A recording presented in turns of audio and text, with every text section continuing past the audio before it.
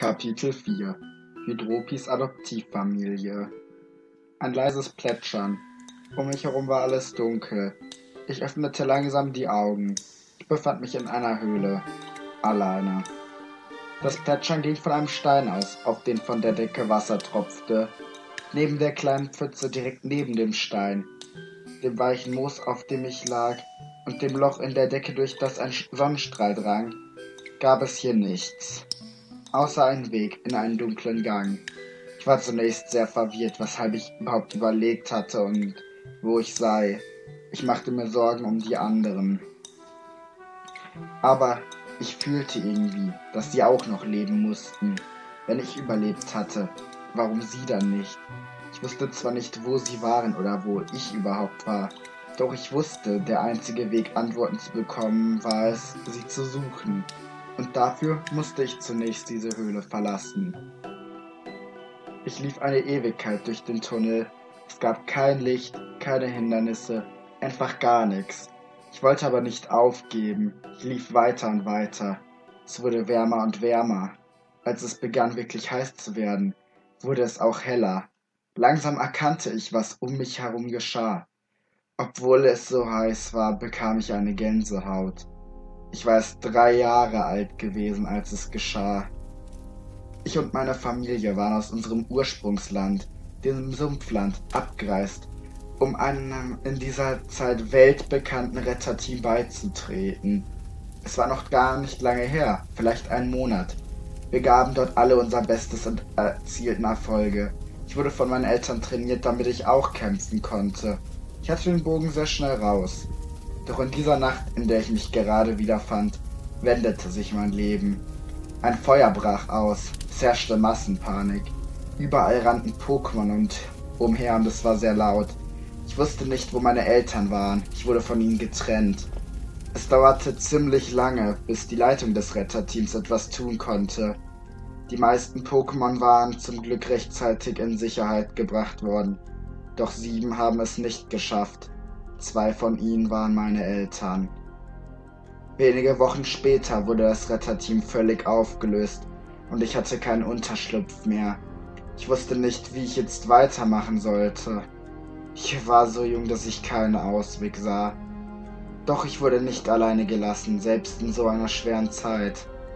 Im Retterteam waren noch bis zum Ende zwei Pokémon gewesen, die bis zu dem Brand gut mit meinen Eltern befreundet waren Sie wollten abreisen und zurück in ihre alte Region ziehen, in der sich das große Abenteuer meiner Freunde später abspielen würde. Sie boten mir an, ich könne mit ihnen kommen. Natürlich war ich froh, Hilfe zu bekommen und nahm das Angebot dankend an. Ich lebte für eine lange Zeit bei ihnen. Nach kurzer Zeit fühlte ich mich bereits wie ein Teil ihrer Familie.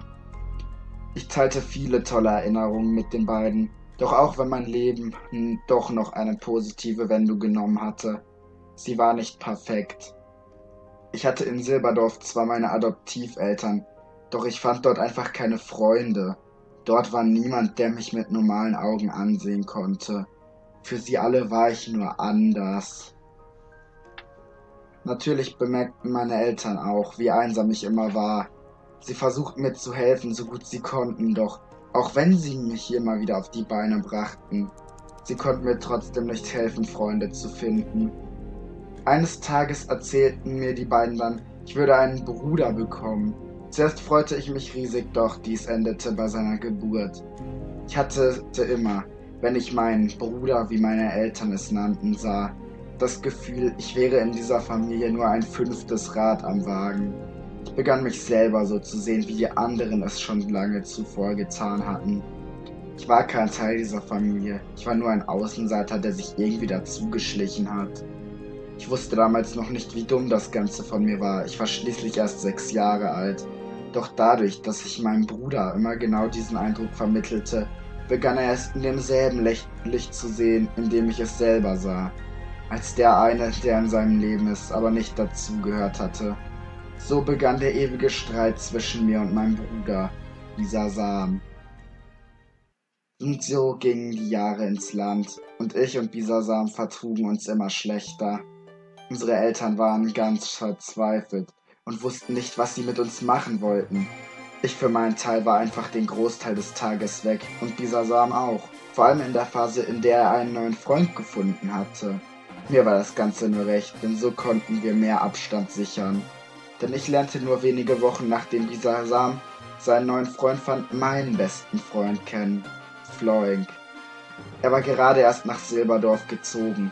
Wir trafen uns regelmäßig, doch er war häufig relativ kurz angebunden, da er immer noch mit jemand anderem verabredet war. Ich fand es immer sehr schade, wie wenig Floyd mir von seiner Vergangenheit erzählte. Seine Eltern lernte ich nie kennen und er wollte kein Wort dazu sagen. Genauso dazu, wo er überhaupt herkäme. Man könnte beinahe das Gefühl bekommen, er wüsste selber nichts darüber. Ich beschloss aber, mich nicht darüber zu ärgern, sondern mich zu freuen, dass ich endlich nach all den Jahren jemanden gefunden hatte, der mich so akzeptierte, wie ich war. Eines Tages verriet Floyd mir, weshalb er oft so kurz angebunden war. Wie er eigentlich schon erwähnt hatte, sagte er, er würde sich mit einem anderen Freund treffen und schlug vor, dass wir uns auch einmal kennenlernen sollten. Er meinte, wir seien uns sehr ähnlich und würden uns bestimmt gut verstehen. Für mich klang es nach einer guten Idee, schließlich konnte es für mich nicht schaden, mehr Freunde zu haben. Also vereinbarten wir einen Termin, an dem wir uns am großen Hügel im Dorf treffen wollten es dauerte einige Tage, dann war es endlich soweit.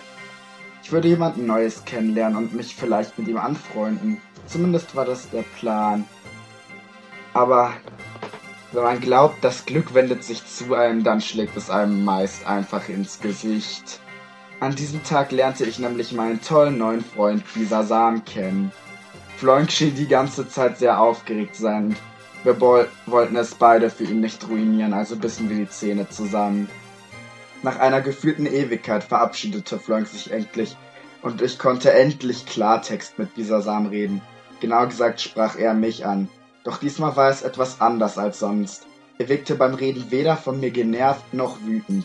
Diesmal wirkte er sehr sachlich und war sogar relativ freundlich. Okay, Dropi, äh, ich weiß, dass das Ganze für dich mindestens genauso peinlich war wie für mich, aber Floink hatte anscheinend seinen Spaß. Wir kommen beide gut mit dem klar und sollten dafür sorgen, dass es am besten auch so bleibt. Also können wir uns darauf einigen, uns zumindest nicht zu streiten, wenn Floink in der Nähe ist. Er braucht nichts von unserem Verhältnis zueinander zu wissen. Zum ersten Mal seit Jahren konnten wir uns tatsächlich auf etwas einigen. Dieses Versprechen damals hatte sogar größere Auswirkungen, als ich dachte. Wir waren oft mit Floink unterwegs und gewöhnten uns daran, normal miteinander zu reden. Wir wurden nie die besten Freunde, aber immerhin stritten wir uns nicht mehr den ganzen Tag. So verbrachte ich die nächsten Jahre in Frieden, bis zu dem Moment, in dem die Dunkelheit einzug.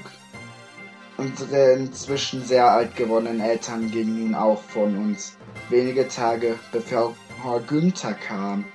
Und als ich das Angebot bekam, äh, nahm ich den Platz als neuer Wächter der Höhle der Regenbogenkristalle ein. Ich kehrte wieder in die Gegenwart zurück. In die Gegenwart, in der ich mit meinem Bruder Bisasam und meinen Freunden Nikros Malatias und Floink inmitten eines großen Abenteuers steckte. Vor mir befand sich nun ein Ausgang und ein Wald, der eindeutig der Seelenwald war. Doch etwas weckte mein Interesse. Ein neuer Gang war neben mir.